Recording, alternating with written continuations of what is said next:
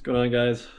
So I got the starter out and I did a little test on it with a battery and um, jumper cables and it did not work at all so I went out and bought a new one and just to make sure I did everything right I'm going to test this one as well. I'm gonna go ahead and throw it back in the Mustang.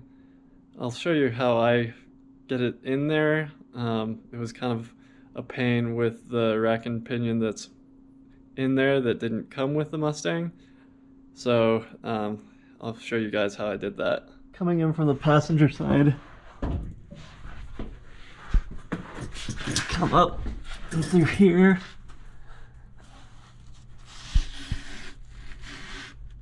And you gotta go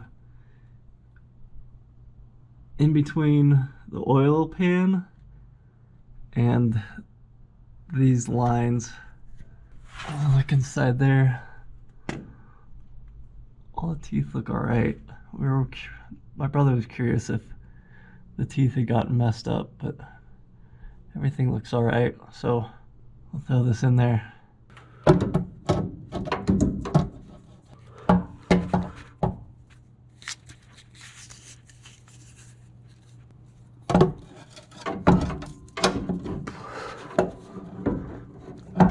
Happening guys? I am doing round two of installing the starter on the uh, 69 Mustang and let me show you kind of what I found out. So this is the correct starter and what I found is if you look at it kind of from parallel to the portion that connects um, this, the nose cone, is much taller and also this spins fairly freely, well compared to the other one, backwards. It's hard to turn it this way, but um, I installed the other one and it when it started, it started fine, but when the cog went up, it didn't come down quick enough and it would make an awful grinding noise um, on the motor when it started. So I brought it back and then we noticed that this, that the other one doesn't spin. So I'm gonna go ahead and install this one. Oh, also this area around here um, didn't fit completely perfect. So what I found is there's two different um, there's two different versions of starters for the 351 Windsor and the 69 Mustang. And um, so this is for the automatic version. So I'll put that in the description below, uh, which one, the, the model for each one, or I guess the part number for each one but we'll go ahead and get this one installed. So I'm pretty sure the way to get it in the easiest is to put the portion with the bolt up through first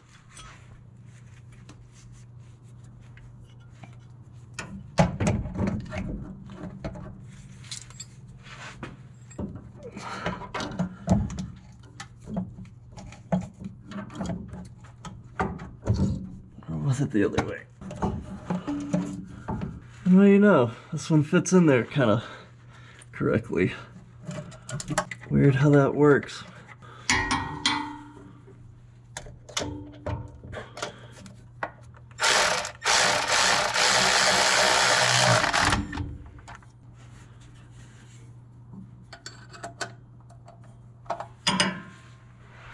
Of course, not the right size.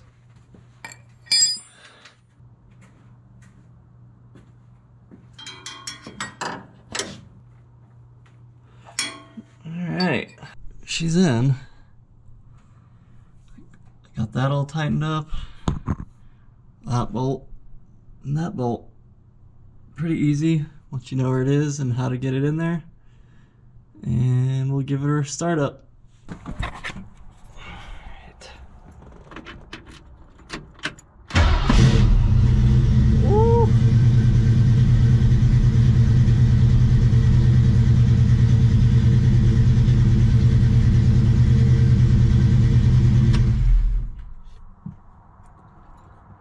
Give her a second try just for good measures. I didn't even have to pump the gas at all.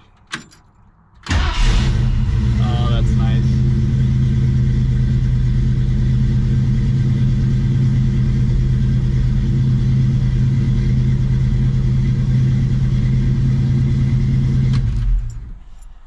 Very, very nice. So nice what a working starter will do for you.